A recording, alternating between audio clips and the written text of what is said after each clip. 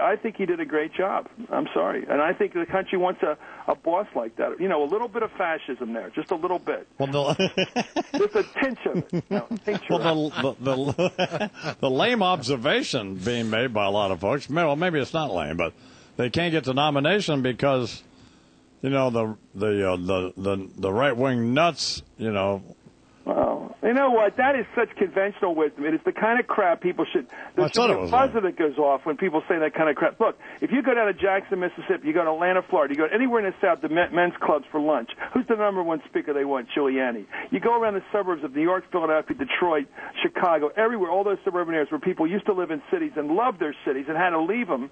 And they say, I still love my city. I want to go back. This guy Giuliani's saving my city for me.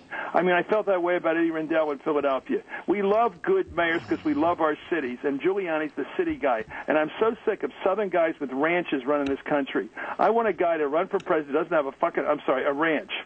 uh, Wouldn't you, that be good? Not a, a guy who wasn't on the ranch during Katrina. He was on the street corner answering questions. did you beat Giuliani that? was answering questions. Out. Hang Got it. on, hang on a minute. Yes. Did you get that, Lou? Yes, Bernard got it. Did we get it on uh, MSNBC? We'll have to ax them. Did you, Tom? See if they effed up.